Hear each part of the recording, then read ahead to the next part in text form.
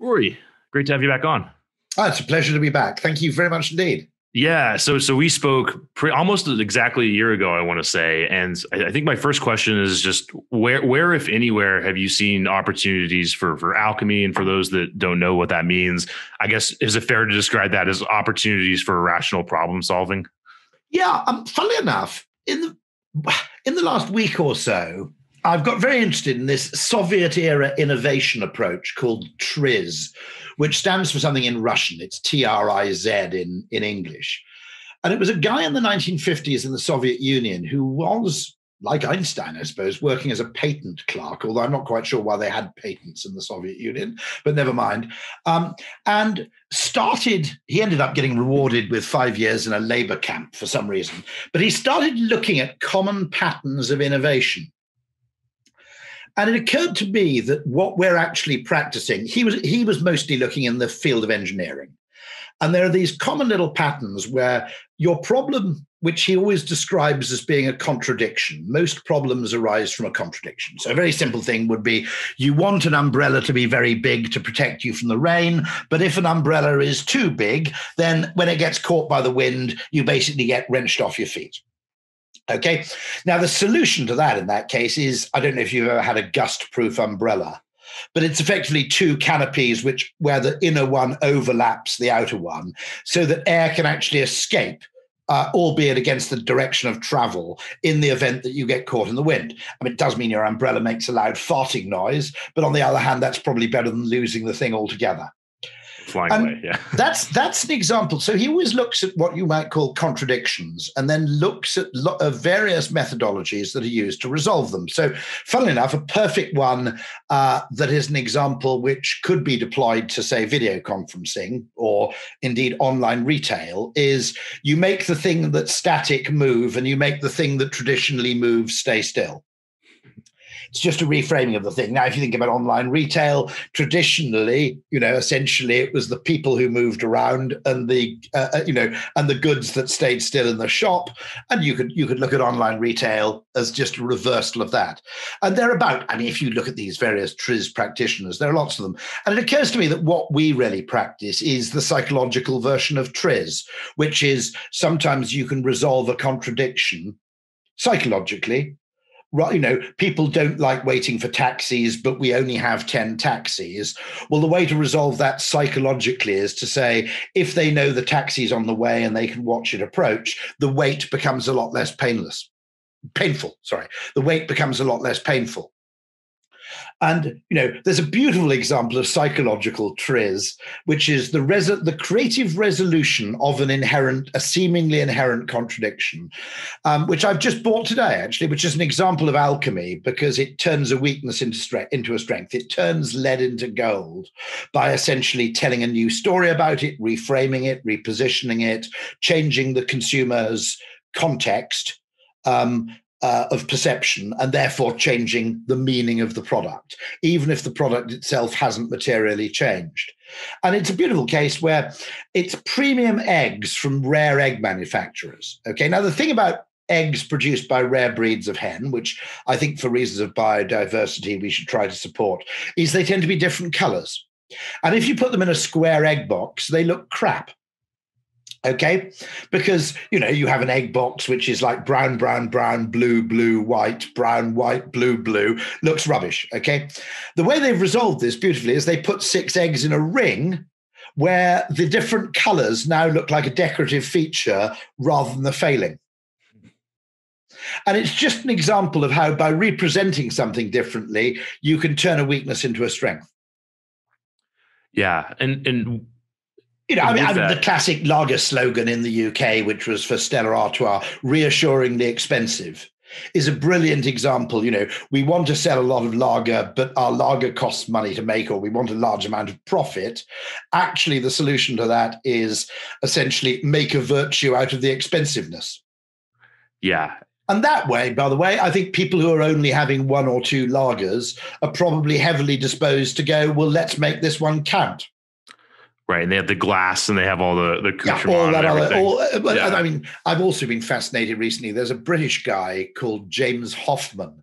I don't know if you know him on YouTube, but he's he was the world champion barista about 13 years ago, and he makes these insanely detailed um, videos on how to make pour over V60 coffee, uh, you know, how, how, to, how to use a moka pot, you know, right down to the level of scales, weighing water, and God knows what else.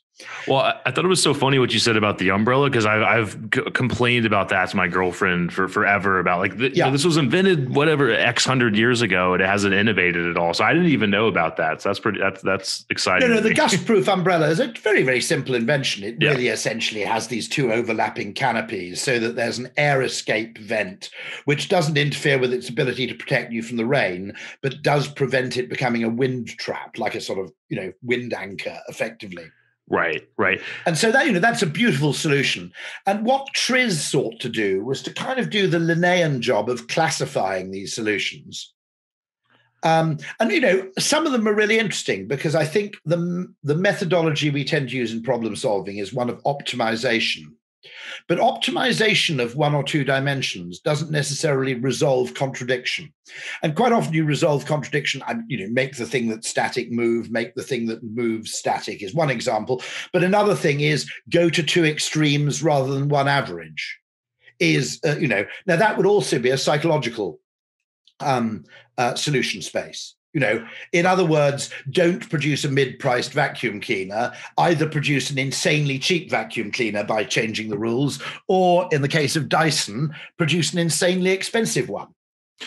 Yeah. Um, and so, so I think I, have been very. It makes perfect sense, actually. At first, you go, "Why are you looking to the Soviet Union for inspiration?" Uh, you know, for problem solving. But then I looked at it and thought, well, actually, the Soviet Union was like an uber bureaucracy. It was like being in a modern large multinational, yeah. only times 10. Okay. So actually, the people who spotted the problem first, that actually institutions aren't very well geared up for conf, you know, what you might call the res- the resolution of apparent contradictions. Yeah. They tend to pursue one target at the exclusion of others. well, what, I remember either reading or hearing something, and they were talking about kind of like skin in the game and branding as it refers. And maybe this. I apologize if this was could have been you. me. Yeah. yeah. it could have been you. And it was it was it. Did you talk about the idea of there wasn't any brand on like shipping parts or mechanical? Yeah, yeah, that might yeah, be okay, me. Yeah. So the Soviet Marxism generally found brands ideologically unsatisfying uh, for various reasons. And so you would actually literally go into a shop which said bread shop, or it might, you know, under Maoist China, it would say bread shop of the people, number 107964 or whatever. Okay. And on the shelves, it would just say bread. Okay. And it might have a few choices of bread. It certainly wouldn't have had sourdough or, you know, focaccia or whatever. Yeah. But the problem there is, of course, branding to some extent is the unit of selection. It's the equivalent of the gene in evolution, in that it's the unit of selection. And if consumers can't reward brands they like and punish brands they don't like, you've lost that fundamental part of feedback in determining whether you're, what you're producing is ultimately creating value or whether it isn't. And so the, the value of bread is determined by some bureaucrat in the Ministry of Food who decides that you can call your thing bread if it contains a certain percentage of ingredients. Now, of course, taste probably gets left out of that equation, by the way. Um, you know, it's simply, and so the Soviet Union had this fantastic problem with metrics, in that most famously, um, uh, there was, I think it's apocryphal, the story that there was a nail factory which was rewarded on the weights of nails they produced. So it ended up spending one month producing a nail that weighed about a ton and a half or something. I think that's apocryphal. It was true that they had this major spate of chandelier collapses in the Soviet Union yeah. because the lamp factories were rewarded by weight of output and so had no incentive to make anything other than insanely heavy lights. And so quite often the ceilings wouldn't support them. Right. Yep. And so it is it is worth noting that without branding, um, essentially innovation and experimentation can't work. And there is no way of accurately determining what it is that people want versus what it is that people don't, other than farming it out to a third party who doesn't understand, except in the crudest, most kind of banausic terms, what it is that people want from bread. Now, under conditions of starvation, yeah, that's probably true that bread is valued on its calorific value. Okay. Yeah. And I guess like where do you see that playing out now? Like I almost feel like Amazon's had to take that lesson, for example, because they, they would have, you know, we're just going to own everything and put our own label on it and make yeah. it cheaper. But now it seems like they're just building up brands and making it so the brands can exist and so on. So I'm just wondering where you're I think the Amazon marketplace um, is a little bit of a added value disaster area in the sense that even if I search for Samsung television, which is that I've decided elsewhere outside the website that I want a Samsung television. The first three televisions it will bring up will be televisions of equivalent size from manufacturers I've never heard of. Now, what you're there doing is something that no retailer would do, which is destroying your ability to make a premium sale. it's worth noting that, of course, one of the peculiarities of Amazon is it's not really judged on its profits or its margins, it's judged on the volume of sales. And so Amazon doesn't really have an incentive to up the margin. The only danger of that in some categories is I end up buying nothing because suddenly my Samsung television seems quite expensive compared to these other televisions. Yeah, and you get this paradox no of choice risking, mess. Yeah. I'm not risking $500 on a Wuangui television. No way, right? So I end up not buying a television at all or going to John Lewis to buy a television where the retailer choice architecture actually makes some sense you know, I mean, there is a fundamental problem with online retail in that what shops do, which is you put some products on a pedestal and you de emphasize others to make choice somehow easier in many ways. Because people, you know, infer all sorts of things. Okay, so this is the top of the range micro, microwave. I don't really need this, yeah. but on the other hand, okay, and by putting everything in a bloody grid, in this egalitarian grid, you've kind of Sovietized retail in a way. Right. Um, right. And I think so. I think you know. I think that large. I think that the tech industry and the consulting industry are in some ways conniving with the business world, um, with managerial and bureaucratic uh, elements within the business world, to make capitalism increasingly Soviet. Yeah, that's, in that it's obsessed. It's obsessed with what you can actually quantify and commoditize, and therefore completely neglects the creation of other forms of less quantifiable value. Right. Um, and there's there's so many places to go there. One thing with the Amazon, it reminded me of just how Google does this too, where they'll allow competitors to outbid each other, even if you're specifically searching for a particular thing. And I've just never understood how that helps them or any, or anyone else. You know, so it's no. I, I, yeah. a classic example with Amazon. I may have told you last a year ago, which is I was looking for a toaster. I was looking at Dualit toasters. I was looking at other toasters.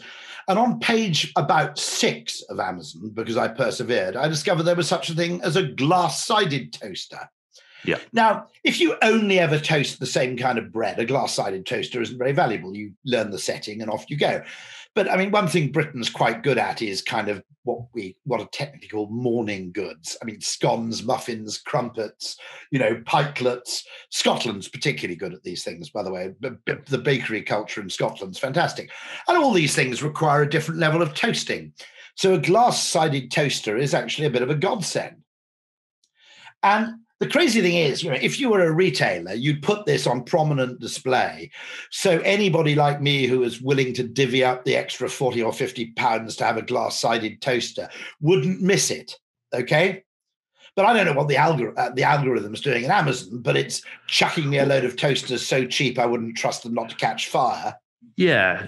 With that, like, can you tell me what essentially do you are you are you bullish or bearish on this idea of data? Like i feel like x years ago you know it was going to be the thing that that changed our whole lives and now it seems like it was that was overvalued. You know it seems like the algorithm actually can't do as much as we thought it yeah, did but I, would love to hear your thoughts on I, that. I, I, mean two things about this. I'm you know i mean information is of value okay? So to suggest that data in and of itself is bad is uh, probably wrong Okay. On the other hand, one, how you present it, okay, has an enormous effect on how people respond to it. So the idea that we are objective perceivers of data uh, simply isn't true.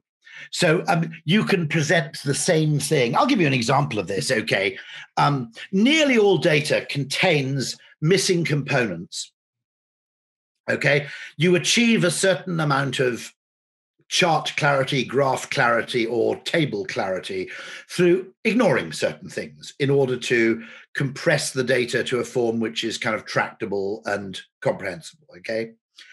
And in the process, you lose things out which are just difficult to measure. Now, if you want a great book on this, by the way, and I recommend it to all your listeners, uh, a book by an anarchist anthropologist called James C. Scott called Seeing Like a State um, that the state's need to comprehend what it governs forces it into some very, very unusual kind of statistical compromises, which causes the statist view of the world to be very incomplete and very unrepresentative of everyday lived experience.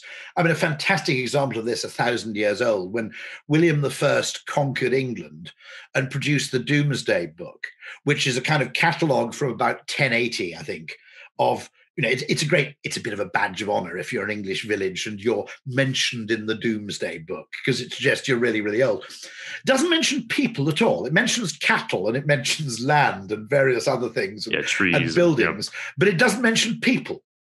Um, and and Scott talks a lot about 18th century Prussian forestry, where you talked about, you know, the weight of timber per acre. But what you ignored was, first of all, the condition of the land, because depending on the condition of the land, you may want to grow more or fewer trees uh, and it's not really an accurate comparison. But secondly, it completely ignores the value of things like undergrowth, brushwood, scrubwood, which have a value in both present, preventing forest fires, apparently. Don't ask me how, right. uh, but also in, in maintaining the soil quality. It doesn't include wildlife. It doesn't include, you know, um, the need to have a few bears kicking around to keep the the sapling eating herbivores at a manageable level. Right. The, the, wider ecosystem gets ignored. So there's that problem. There's also the problem of data being used not to um, uh, uh, not not to inform decisions, but to support them. Okay, so that's cherry picking of data for support rather than illumination. Uh, there's also the issue of data being used to make decisions in the absence of any human intervention which I have a problem with.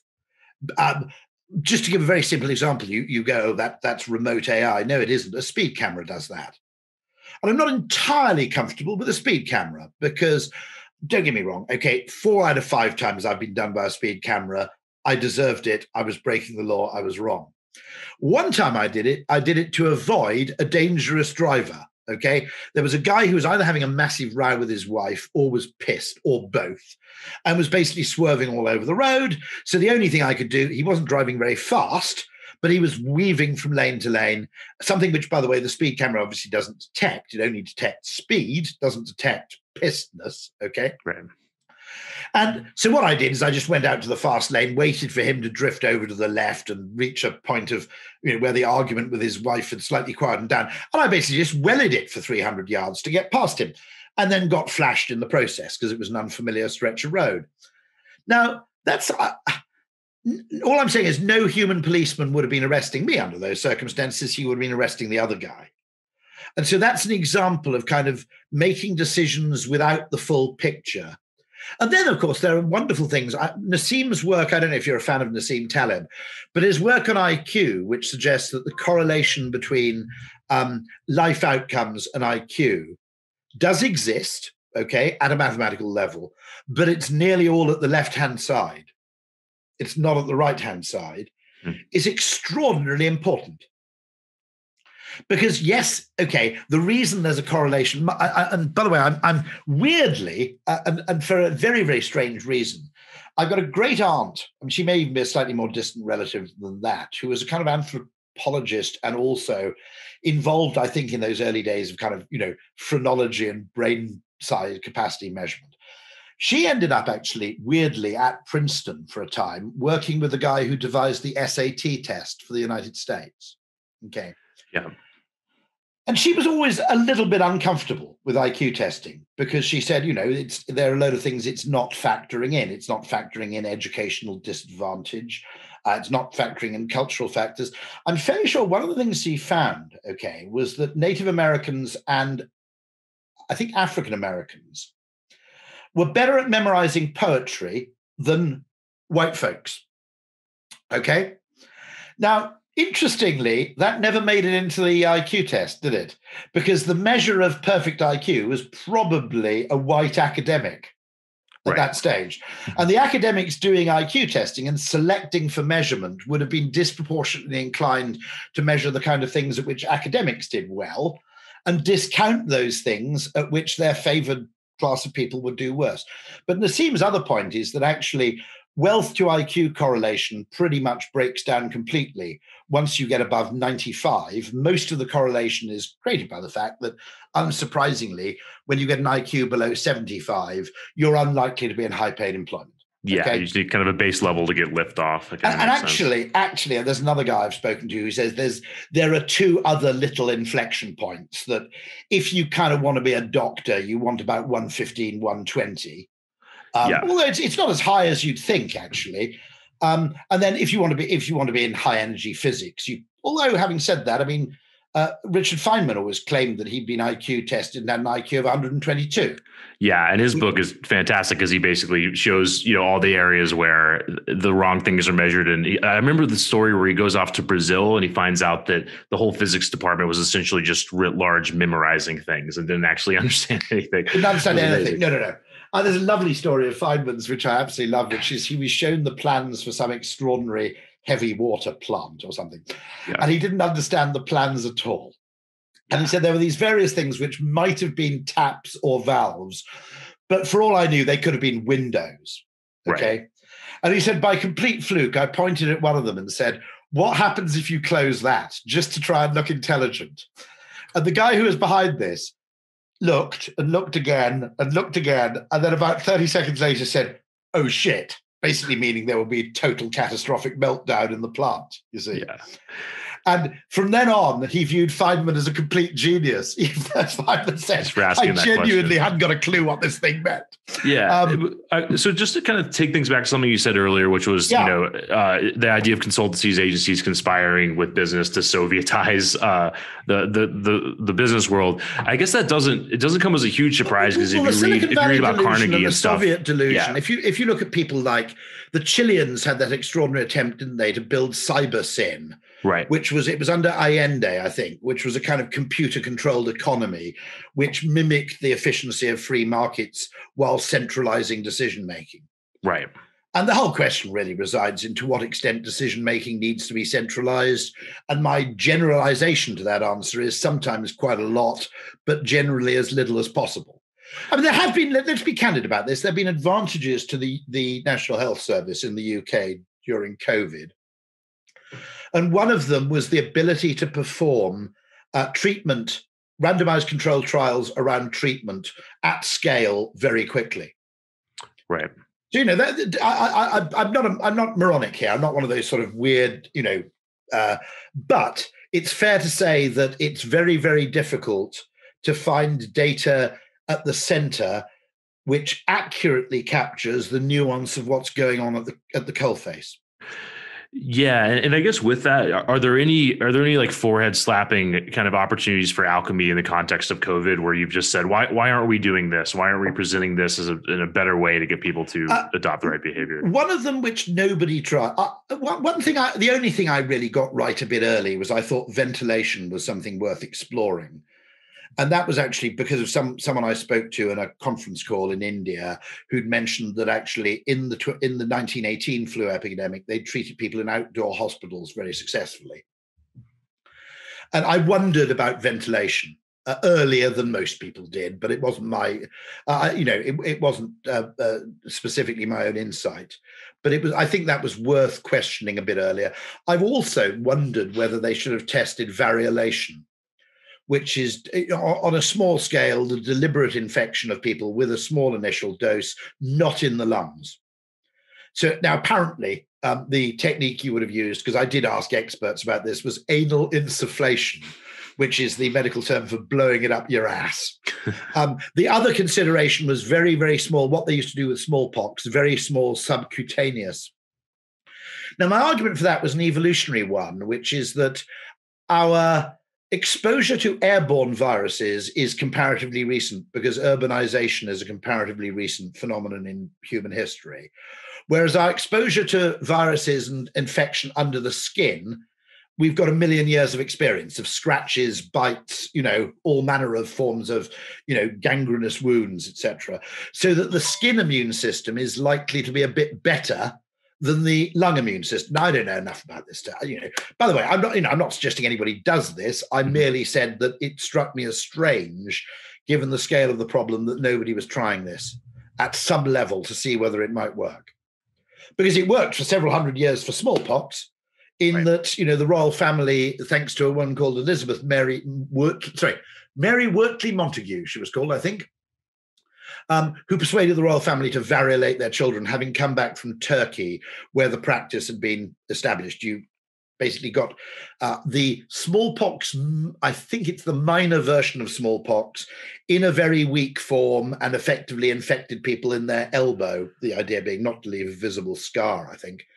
Yeah. Um, and it did strike me as a bit weird that nobody was at least looking at this as a short-term fix in areas of very high, uh, high, high um, uh, infection. It struck me as a bit weird that nobody even tried it. Maybe they did. I mean, you know, maybe some dodgy regime tried it on their prisoner population or on their soldiery. I don't know. Right. Um, uh, one thing that does strike me as possible is two. Well, two things that interest me. One, it's highly possible that something relatively mild and in common use might be found to have a very significant effect, simply because it's an it's it, it's of course uh, the neo part okay, because this is a new virus. You know that science fiction trope where the world gets taken over by aliens and then it suddenly turns out that they're killed by salt water. You know that right, thing, right? Or, or, or microbes in the air or whatever. Yeah, or, or some, yeah. yeah. some something that we're immune to basically right. proves fatal to them. It strikes me as not unlikely that something like that may subsequently be found. We haven't found it yet, but that something actually surprisingly banal, like spraying something in the air, might have an extraordinary effect um, this is why I thought I thought people were a bit harsh about Trump, by the way, because he was burbling on about bleach. He didn't mean bleach. I mean, he wasn't very precise. There is this very, very pure thing which actually the body produces, which is called oh crikey. There's a particular version of a kind of bleach right. which may have fairly good antiviral properties. I mean, he was it, you, it's a spray, I think, of some kind.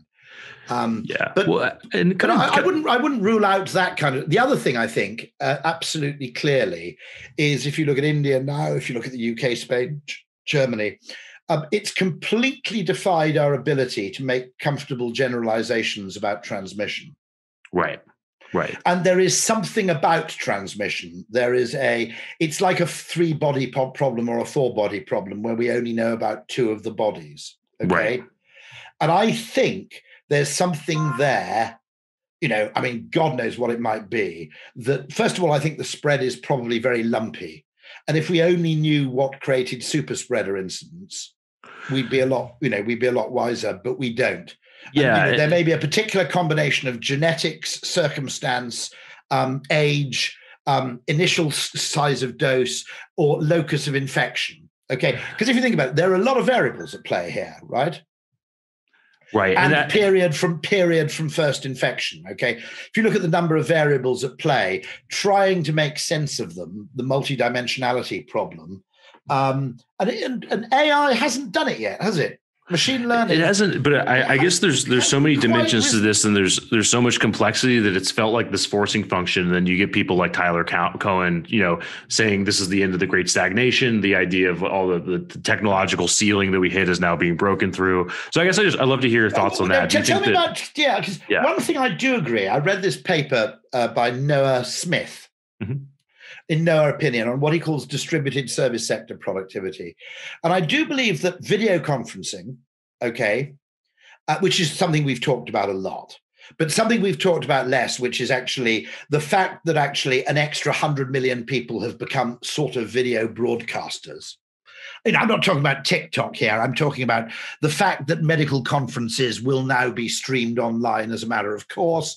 The yeah. fact that I can go online and uh, during the COVID, I was one evening I attended a, a talk at Duke University. All credit to them; it was an excellent talk. It was free on insect epidemiology and how insects behave to cope with infection which by the way is a kind of variolation, but I'll park that. I'm not I'm not a single issue fanatic here.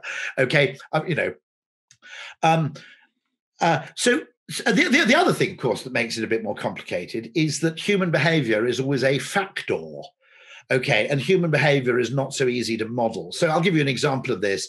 Even if you could be fairly confident that outdoor transmission is relatively rare, okay, and so the science tells you that there are a few cases transmitted outside, you've got to be a bit careful because outdoor socializing tends to lead to indoor socializing. And that happened at the White House, didn't it? They had an event in the Rose Garden, and then it got a bit nippy, or people all went inside to that kind of orangery thing you've got, you know, right? right? Um, and so, you know, if you allow people to socialize in their gardens in a perfect world where people behave with ant like conformity, they'd all stay outside, they'd say goodbye and they go home. What actually happens is it gets a bit cold, the patio heater runs out of gas, people move into the conservatory and leave the door open, then they close the door, then three people leave use the loo, and the next thing you know is you've got an argument about Brexit in the kitchen. You know, so there, you know, you can use the science up to a point, but there are always knock-on effects in terms of how people respond to the information.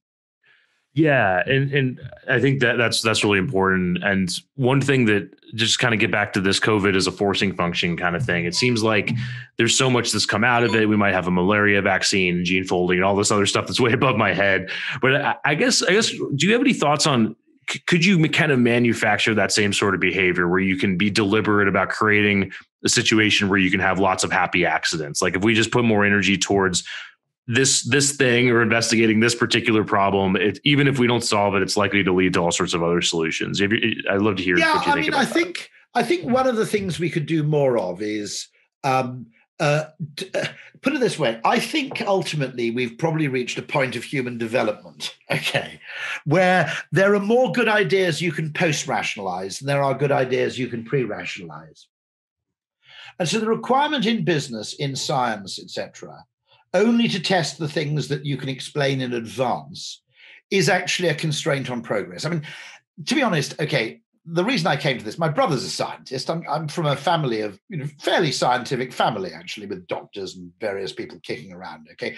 But I spent 25 years in a creative department of an advertising agency. And generally, that strange thing that creative people often say that you don't actually have ideas, they're floating around in the air and you manage to catch them and then you develop a kind of smell where you go, well, that's interesting. And then you try and explain. It's a bit like biology rather than physics. Okay. Biology is a science of exceptions. What Darwin did is he thought, why do all these finches have different shaped beaks, even though they're living on islands only a small distance apart? Okay. And you notice things and you notice exceptions and oddities and anomalies and counterintuitive things and then you see what use you can make of them. Now, if you like, that's the sort of process. Uh, actually, we'll, we'll go back to Feynman here. There's this fantastic bit of film on YouTube. I mean, geez, I watch it about once every two weeks just to, for the laugh, where Feynman basically goes, This is how the scientific process works. I'm not doing him justice. Yeah. His final wife was, a, Brit, was yeah. a Brit, I'm delighted to say, by the way. Um, uh, probably because only British women have low enough standards of expectations of male behaviour to put up with Richard Feynman. but anyway, um, uh, but but the but the fantastic thing was he said this is this is how the scientific process works. First of all, you guess. Okay, and of course everybody in the lecture hall bursts out laughing, and he says, "Don't laugh. That's exactly how it works. You start off with a guess." And then if your guess doesn't live up to experiment or it doesn't fit with reality, then your guess is wrong. And of course, if you're in this world where everything, you know, you look at mRNA vaccines, right, where the poor lady who's Hungarian, I think, uh, you know, ended up being demoted at Penn. Yeah, it's a shit hot university, right? And here she was, you know, at one point she thought of just quitting her career and so on. And the the role of effectively um, having some sort of random science or just curious science or humorous science or mischievous science. Andre Geim, who's the great guy who came up with graphene, you know, he he refer, he says, you know, I can do the kind of science where you know you put in loads of grant applications and you wait for ages. That's he goes, but basically, I find that boring. He said, what I like practicing is kind of hit and run, drive by science, hit and run shootings. He's the guy who levitated a frog. You know, a lot of his stuff's crazy, right? Um, um, um, Niels Bohr, um, David Ogilvy was always a huge fan of Niels Bohr because the scientists in the laboratory were always playing practical jokes on each other. Now there is scope somewhere out there for what I call, you know, science that works backwards. In other words, you have a, you know, a random idea or a punt, and then you only post rationalize it in retrospect. You don't try and rationalize it in advance. Yeah, and, and I think that's what's so what's so cool about Ogilvy and the, the you bringing that up is that there's there's so much you know abstraction and so much creativity, but it's all grounded in the idea that he could experiment. Like so much of Ogilvy on advertising is about direct mail and actually being able to test the ideas and that that's, sort of thing. That's my uh, all credit to the direct mail and the um, direct marketing industry. By the way, we were doing randomized control trials about seventy or eighty years before the medical fraternity were. Yeah. So it was partly an anomaly with printing presses, which is that newspaper printing presses usually printed newspapers in parallel. Uh, uh you typically have two or four, and that's either an A B test or an A B C D test. And then maybe at the request of the direct marketing industry, and I've never known whether this is or whether it's just a production norm, they interleave them. Okay. So when you produce newspapers on a printing press, they came out of two parallel presses. So you could vary the ad copy from one to the other. And then effectively it was A, B, A, B, A, B, A, B, A, B, A, B, A, B, and it went out then to be packed and distributed. So that two people buying consecutive newspapers in the same shop would get a different ad. Yeah. It, obviously, the, the effect wouldn't work if you basically didn't do that interleaving process or wouldn't work right. as well and probably would work a bit but you could always worry that oh no it's just a geographical artifact that you know these newspapers all went to the rich part of town or whatever that would mess up your finding yeah. And so all credit to the old direct marketing boys. They were doing this, you know, admittedly there were fewer ethical questions uh, involved. Uh, there is an ethical question, by the way, which is newspapers historically, now they're more desperate. I'm not sure this is true, but historically, newspapers would never allow you to test price that way they said you can test a creative approach that way and you can test a proposition or you can test a um, uh, you know you can test a different coupon design or anything like that that's fine. But we don't think it's fair for our readers to be quoted a separate price for the same product. So that was always off limits um, uh, in direct yeah. marketing because of newspaper editor or newspaper owners belief in the ethics of of the whole thing well, kind of tied to that, it seems like recently, you know, I've had conversations with agencies that are going back to print, that are doing more with direct mail. Some of this is inspired by yeah. the uh, the Apple Facebook beef, and the, there's less tracking and that sort of thing. So I'd love to hear your thoughts on that. Do you think that's just an aberration, just like a blip on the radar? Or do you think we're heading towards back I, to something? I recently, without giving anything away, I think I recently recommended to a giant Silicon Valley firm, one of the big five, that they sell a product through direct mail. And the point I made is look, first of all, it's much rarer than it used to be, where no one's bombarded with the stuff anymore. Uh, if you got an email, uh, if you got a, a, physical letter from Facebook or Google without or micro, you know, Microsoft, it says it communicates certain things. One about the specialness of the recipient, but B about the importance of the product that uh, in question that wouldn't be communicated by an email or by programmatic marketing or by anything else. One of those things being costly signaling, but that's not the only one. Okay. Uh, you know, uh, if you were opening a club direct mail would be a much if you think about it okay if you're opening a reasonably exclusive are you in new york by the way i, I keep forgetting where you normally are. i am i'm in austin for the next few months with all the cool lovely kids, yeah. lovely place i've been there and loved it absolutely yeah. loved it i, I, yeah. I remember a, uh, a, very happy afternoon spent in the lbj presidential library among other things. i need, still need to go i think it was closed for a little while so yeah no but understandably yeah. yeah fantastic Be- beautiful beautiful place and i need to read the book food. too while i'm here i think it's going to be a good place to get through to start cracking those caro books it'll take a while I also think Austin's one of those places which actually secretly um, all Americans really quite like, which is kind of a yeah. liberal enclave surrounded with a bit of pickup truck country, which, to be honest, gives you the best of America, doesn't it? Because it, it, it, does, yeah. It's it's yeah. a fun place, and it's it's the secret's out. Like it's becoming very huge, and you know everyone's flocking here. But I think my understanding is the demographics of Texas are changing, you know, for yeah. better or worse because of that. Whereas California tax even when I was here eight years ago. Yeah. But um, tax exiles. Well, the thing about that's weird about Texas is you, you you save money if you're not if you don't own property. If you own property, they actually tax you more than other places, which is kind of interesting. Yeah. Ah, interesting. And it's on the value of the property, is it not? Not the acreage or the. That's my understanding. Yeah, is, is the is the property values? Yeah, property taxes higher here. Mm-hmm. Yeah. How far are you? Sorry to distract your poor listeners. How far no, are you from those fine. Texas Highlands? How much of a drive is that? Like the hill country and that sort yeah. of thing. That that's right outside, basically. Yeah, because um, it's spectacularly beautiful. I mean, yeah, I, I, I you know, uh, as a Brit, you know, we got quite good countryside, and I think we, you know, we got quite high standards of rurality. But I have to say, I looked at the Texas Hill Country and thought, shit, that looks fantastic. Yeah.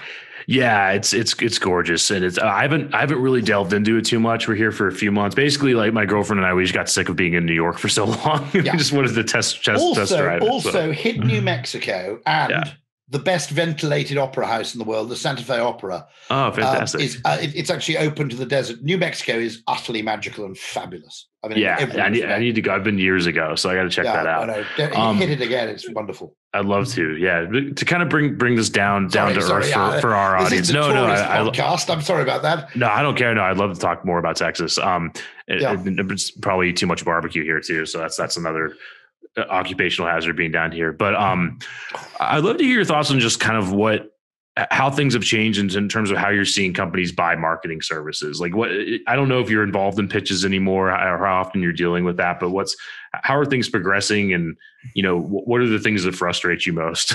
well, the whole thing's a ghastly mess because the way agencies are paid. Yeah. We we lost commission, which um, was heavily imperfect as a way of paying agencies. And David Ogilvy was a long term opponent of the commission system. The problem was we replaced it with something which just brought us a new set of problems, not least being that the way you create value and the way you make money are very poorly aligned.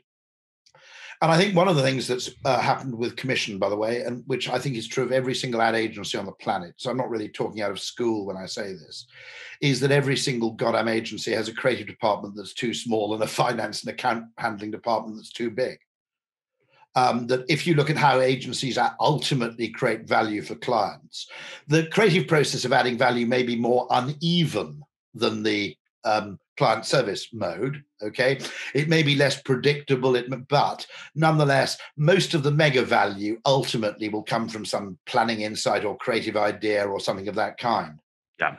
Mm-hmm. And the extent, if you look at the ratios of all agencies, I, am as I said, I'm not really telling tales out of school because Mark Reed has said the same thing in public. Okay, but the ratio, and it's partly a product of how we're paid. It's partly a product, I would argue, of the fact that if you're being a bit of an amateur anthropologist, okay, creative departments and planning departments have a prestige hierarchy whereas client service still has a dominance hierarchy.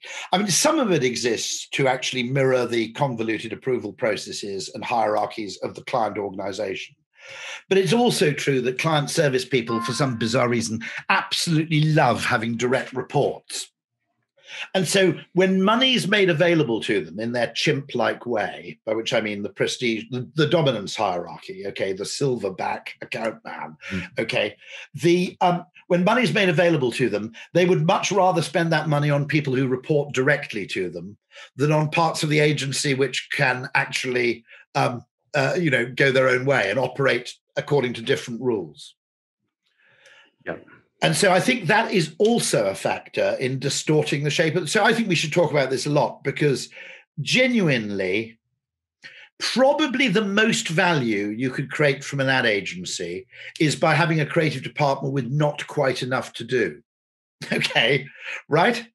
Uh, now, I don't mean, I, now, just to be clear, this is a very delicate balance, right? Do you think that exists writ large though in every like in, in every department? If you just have less to do, then maybe yes. I mean, little, yeah. undoubtedly we've optimized efficiency without optimizing effectiveness, and they're not. You know, yeah. You know, there's always a point at which. Don't get me wrong, right? I mean, I think there was a huge amount of fat in the ad industry um, uh, going back. But there's another dumb thing which I'm going to talk about. You know, I, I don't think some of the some of the, the, the fat shifting was a bad thing. I had a great colleague actually, Mike Sim, who's now a vicar, but he was my art director for many years, and he said there was one agency he worked in which he said got it just right. By which I mean what you might call the Taylorist versus fun balance was just right. In other words, it wasn't, oh my God, there's someone here who's unbillable for three hours. This is a catastrophe. Nor was it the kind of place where people floated off on Friday afternoon and didn't come back. You know, yeah. there's a kind of balance between those things, and it's not necessarily easy to hit. Yeah. The other great failing which annoys me, and this this also goes back to my direct marketing heritage. Um, I'm still a direct marketer. I, I, you know, I'm a practitioner in the behavioral sciences, but basically that's a fancy term for direct marketer. That's still what I am. Okay, I've never changed my. I, I, started in 1988 in direct marketing. I was a pupil of the great Drayton Bird, who was kind of like the British Claude Hopkins, if you. That's you know uh, the the British you know um, uh, you know uh, guru in the field, and that's that's what I still am. I mean, I I loved it. I still do, and it, that was what got me interested in behavioral science because we had results, and the results were often as I said, you know, it was a science of exceptions. Why the hell have twice as many people replied to this, even though the price is the same and the product's the same? What's going on? That was what got me interested in behavioral science. And one of the great things we used to say in direct marketing was, you know, that roughly speaking, there was a rule of three in communications. Okay. There was creative, targeting, and other stuff. Okay. Right. And roughly speaking, actually, they were equally important because the effect was multiplicative, it wasn't additive, right? So if you had shit creative, obviously you could perfectly target an envelope that said piss off and you wouldn't yep. get any responses, okay? Other than people sending you dog shit back through the post, right? Right. So shit creative isn't going to get any responses. Shit targeting isn't going to get any responses. And if you get something else, and this is what I call behavior, you know, I, I, used to call behavioral science before I knew what it was called, the thing for which we have no name. If you, for instance, you have two products and one of them is more expensive than the other, and you don't explain why the more expensive one is better, you won't sell either of them. That's just a, you know, what you might call a framing effect. Hmm. Okay. And uh, by the way, I've, I've, I've seen that happen a few times. I had a, a, a I, I think they've solved the problem. Nestle launched two Vertuo coffee machines. I don't know if you got the Nespresso Vertuo. have you? Very fine thing. Something um, like that. Yeah. I can highly recommend it. Um, yeah. I, I, have. There's so many ways to make coffee. It's incredible. Uh, uh, don't don't ever get onto YouTube and watch a guy called James Hoffmann who's the world champion barista, because yeah. he will show you a 15 minute video on how to make V60 pour over coffee. Yeah. You'll you'll start that video as a relatively sane man, and you'll end up importing your bloody filter papers from Japan and spending two thousand dollars on a grinder. Yeah, it's it's an endless cavern. I, have got yeah. I, I, sprung for one of the fancy like Gaggia uh, coffee makers, but then you know you, it can keep going. You, and then all of a sudden you're soldering things, and then it's, it's yeah, you, you, you got it exactly. Yeah, the gorgeous thing manufactured in the UK by a jet engine scientist called okay. Nine Barista. Yeah, um, it's about two hundred and fifty nine dollars or something. But that's that's the kind of example of. On the other hand, of course, it it's what I call benign bullshit. Actually, the bullshit we go through to prepare the coffee probably enhances our enjoyment of the coffee. Just as food you've cooked yourself tastes better than food that you know you've got out of a microwave. It's right. not, you know, I mean, we shouldn't totally discard these psychological effects because, you know, medicine discards the placebo effect too much because it defines medicine as overall effect minus placebo equals real medicine. Yeah. Well, why don't you look at it as placebo times medicine equals overall effect and try and maximize both? You know, because right. I'm sure that the solution to weight loss will ultimately be a combination of something like metformin or one of these things combined with a behavioral regimen you know right and i think that's what's so cool about you know what, what you're doing at ogilvy and, and the idea of grounding everything in direct mail and things that are test testable is that people's frustration with the ad space isn't the creativity it's the creativity with you know the lack of grounding and this idea that, of like a branding agency that has no way to quantify mm-hmm. anything they ever do and that sort of thing so i love to, I love to hear your thoughts on, on that and, and maybe to adjust the question a bit. I think a lot of our audience are running, you know, boutique agencies. It seems like there's a big trend towards specialization where you have like small groups of people. Well, I was going to say, I was going to have my little rant yeah. here, which is that yeah. even though we've moved off, so so even though we've moved off being paid by commission, yeah. the agency still has a muscle memory that behaves as though if we don't produce communication as a result of this engagement, we've somehow failed. And I worry about marketing in general has become too much identified with marcoms. It's not all about communication. It's about the, the deployment of psychological insight and creativity to solve business problems in general, sometimes, but not necessarily, involving paid for or bought or earned or whatever it is, or rented uh, media. Okay. Right. But the use of media, I mean, unless you take media at its very, very broad definition, is not necessary nor sufficient to the practice of creative marketing. And yet, most agencies focus on this component of it to the exclusion of everything else. And part of the reason I founded a behavioral science practice is I like marketing. Okay, I like marketing in general. I like package design. I like, uh, you know, ingenious pricing. I like ingenious framing. Uh, you know, I like solving problems through a combination of insight and ingenuity. You know, psychological triz, as I call it. Yeah. Okay. And one of the great things about behavioral science practice is finally we can have these conversations which go which cover the waterfront in marketing terms and even go beyond the marketing department to a CEO or chief operating officer, because there's scope for creativity in HR, there's scope for creativity in um, uh, in all manner of business problem solving. Okay. Yeah. And yet we've confined ourselves, we've painted ourselves into this kind of can corner of you know, perfect. I love it. Don't get me wrong. Okay. Nothing makes me happier than to see Ogilvy produce a really, really good ad, but it's 20% of the waterfront. Okay it shouldn't be the be all and end all of what we do.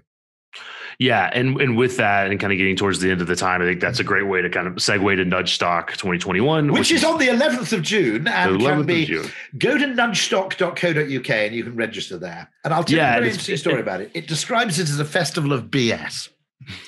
Now, as we all know, BS is an abbreviation for behavioral science, and it's also an abbreviation for bullshit.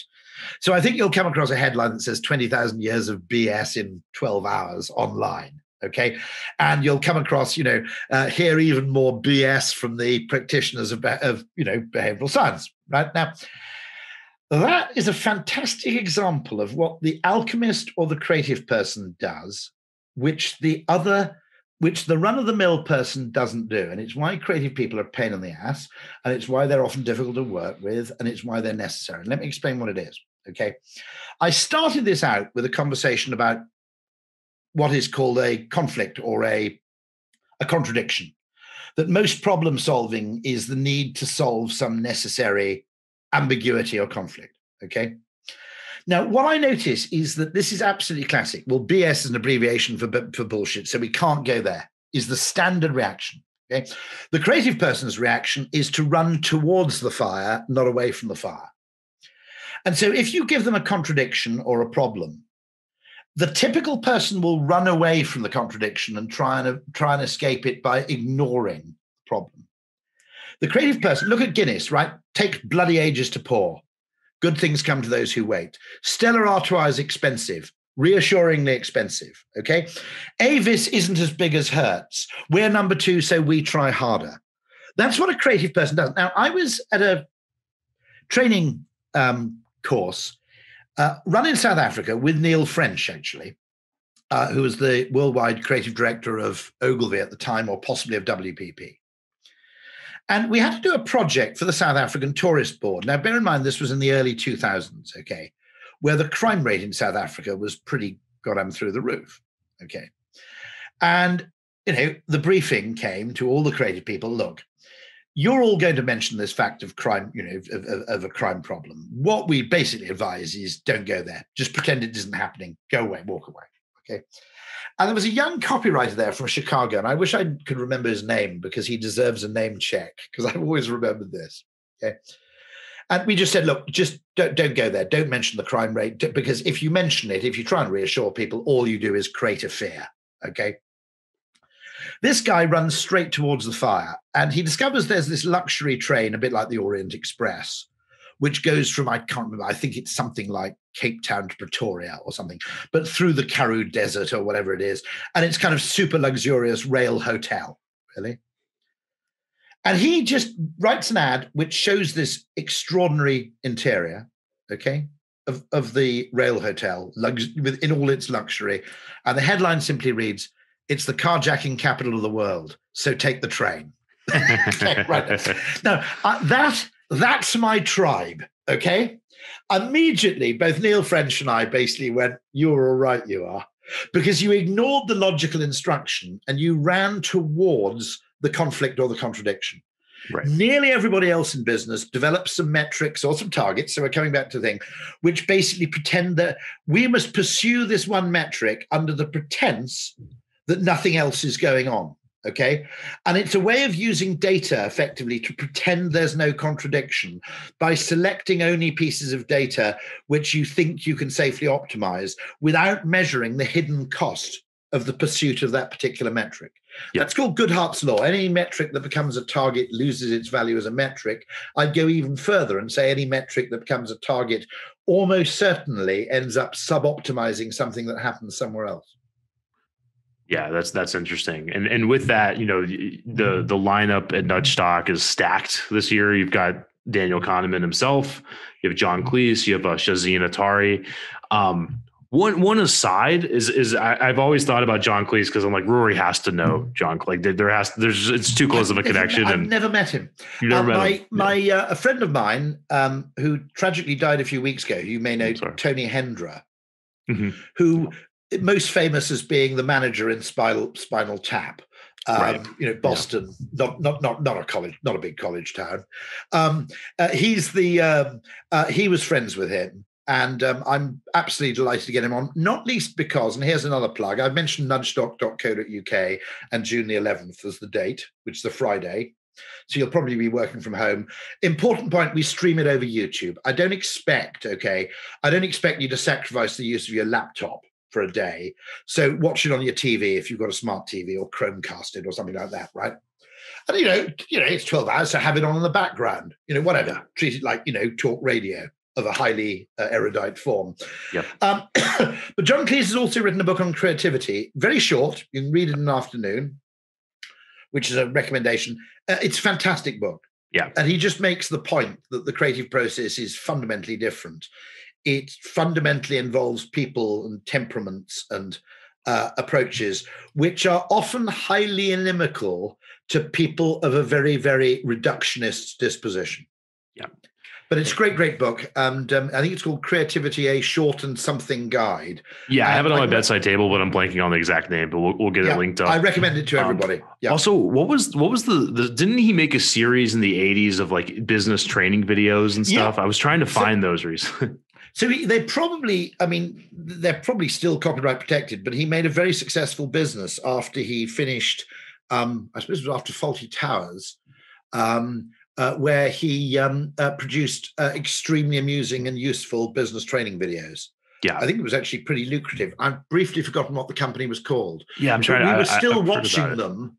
Uh, you could, to be honest, you could probably bring them. They're back. like sales and client service training yeah. videos, which is such a bizarre thing for him to but do. It was after very, very, Towers. It was brilliantly clever because yeah. what does humor do? Well, one, it makes the thing entertaining, so people actually want to watch it. Right. Okay. Secondly, humor allows you to say things that you can't say seriously. Right. Right. It's, why, it's one of the reasons why it's such a useful creative technique. You know, you could argue that you know people like Boris Johnson, our current premier, are allowed to overuse it to a degree.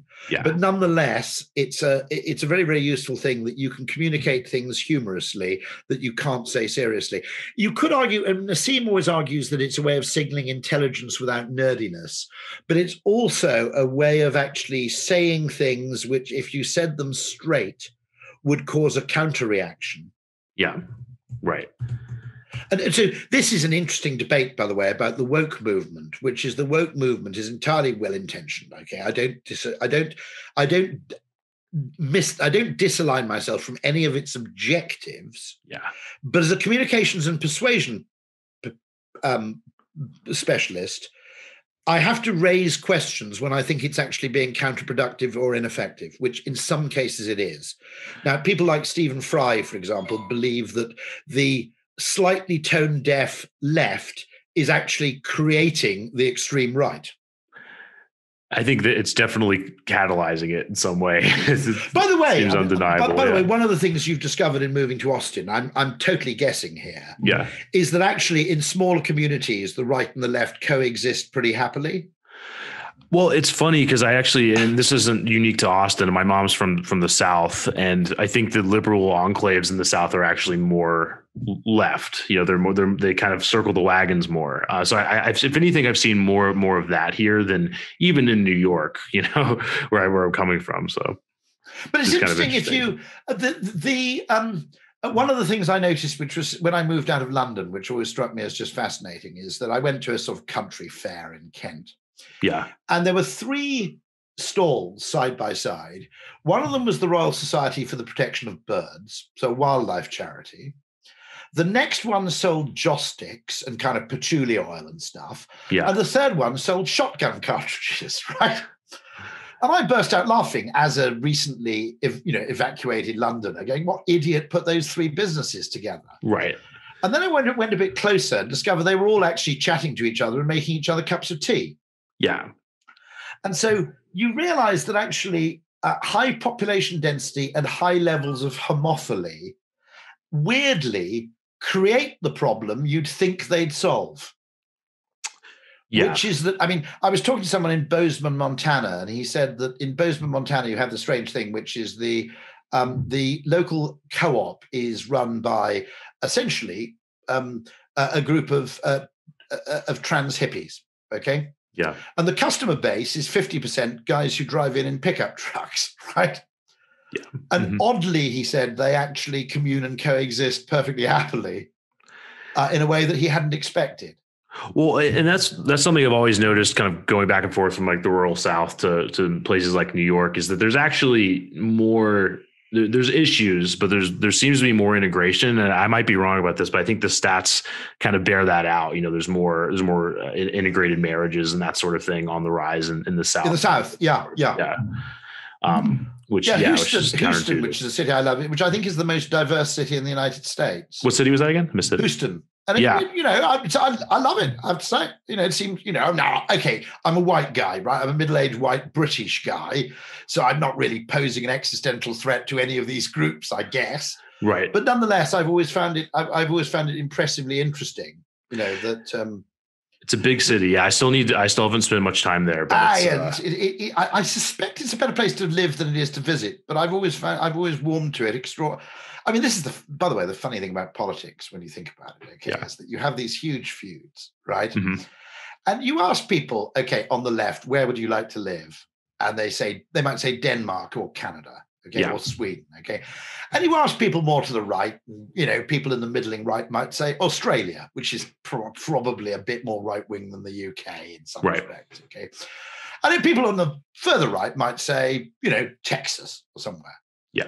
But actually, those places, I could live in all of them perfectly happily. To be honest, if Yeah. I lived in Scandinavia, I'd probably become a bit more right wing. And if I lived in Texas, I'd probably go on about why you need socialized medicine. Okay. right. So as a kind of Yeah. countercultural thing.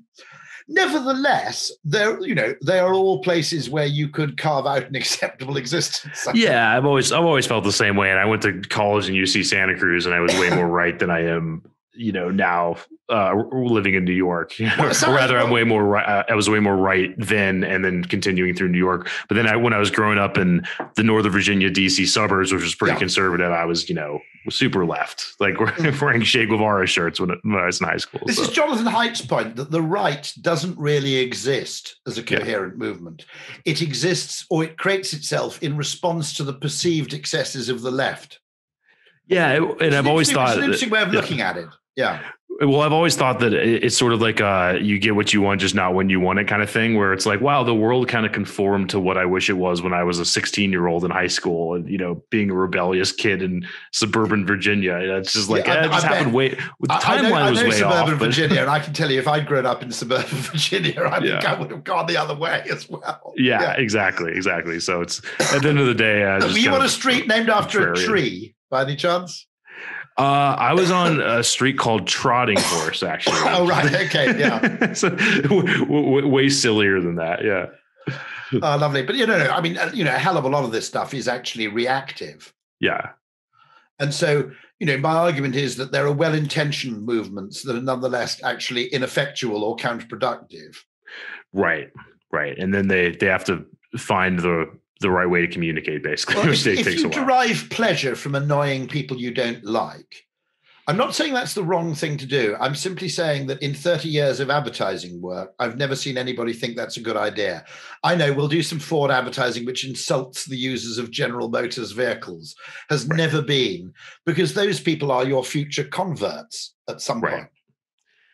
Yeah, and that and that's why you know there's there's a lot of people that postulate that it's kind of kind of death culty in, so, in certain certain aspects but we'll see what they do and we'll see what how, how they how they emerge from it. But uh with, with that Rory i want to be respectful of your time and everything. And uh Nudgestock is is going to be huge this year i'm really excited to join. So friday june 11th we'll get that all linked up. Uh Rory let's do this again. I think we could talk for we'll do it again. i'll years. be absolutely delighted any old time. Fantastic. Yeah have a thanks, great man. time. Appreciate it. Are you going back to new york afterwards or are you taking the advantage of flexible working to its uh, so uh, it's it's kind of weird because I've I've uh, you know had an online business since 2015 or so. So it's it's sort of uh, yeah. I I think we will go back to New York, but it's kind of a moving target. We're just test driving cities right now. What so. what New York actually needs is pod housing, isn't it? Like tiny. Because yeah. there's no point in having a large apartment in New York because the interest is all out of doors, right? I can watch Netflix anywhere, right? right. Yeah. So I've always wondered whether what London actually needs. It's very difficult for the market to produce it because the market's dominated actually by buy-to-let investors. Uh, uh, the, the, the, the, the new property market is dominated by buy-to-let investors and overseas investors in London, who are obsessed with, of course, two-bedroom apartments, which are useless for families but brilliant for renting to to two salaried individuals. Right? Yeah. Yeah. Mm-hmm. And actually, what London really needs is kind of tiny pod homes where right. literally you can go and crash and you can do your Londony, New Yorky kind of things and go outside and then keep all your shit in Austin you know, where there's a bit of space. Well, exactly. And I just keep thinking of the George Carlin did about stuff, where he's just like, it's your, your own stuff is stuff, others people's stuff is shit, you know? Yes. and yeah, it's yeah, just, he's just talking about having stuff yeah. all over the country. And that's kind of what my situation. I have stuff in New York, I have stuff in Austin, you know. So, but a bit yeah, of property that, arbitrage, a bit of real estate That sounds very Japanese. It sounds like something they would they would figure out first. Some some Zen solution to the whole thing. Yeah, yeah exactly. Absolutely. Yeah, that's that's you'll you'll have to run with that. So, Rory, thanks again, man. Appreciate it. Always a pleasure. Thanks ever so much. Yeah, take care.